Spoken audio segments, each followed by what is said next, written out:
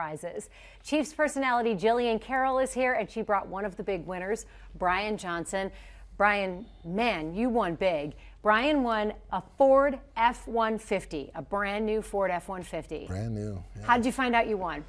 Um, well, I was actually standing on the field and um, I didn't know I won. I thought another person had won, and one of the operations people goes, hey, you just won. Were you thinking and, it was another Brian Johnson because it's a well, common name? I didn't hear my name called. okay, got it. so I was, I, I, actually thought I had one second, and I was thinking about who I would might want to bring to the game, and then they announced my name, and I was still kind of wrapped up in my mind trying to figure it out. So, yeah. yeah. So what did you drive to the game in then? Um, we drove our regular car, um, a Nissan Rogue, and so. Uh, and now does it just look sad to you knowing you've got that Ford F-150 on the way?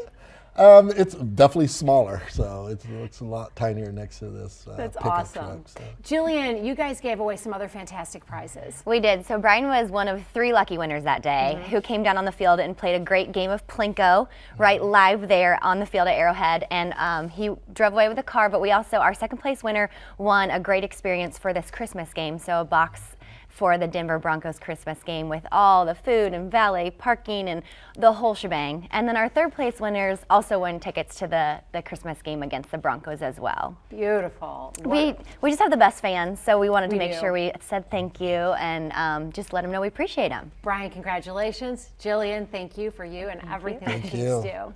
KCTV5 is your home of the Chiefs. We're going to start things off on Christmas Day at 9.30 in the morning with the Hy-Vee Chiefs Insider Show followed at 10 a.m. by the Price Chopper Game Day Show. And then for the Inside Breakdown, you can catch Chiefs Rewind after KCTV5 News at 10.